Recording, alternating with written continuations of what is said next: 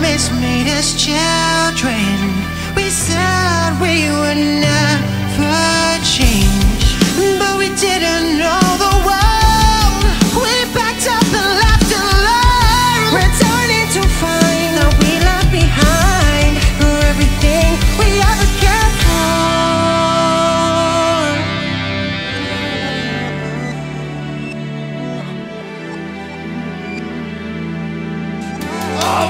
love.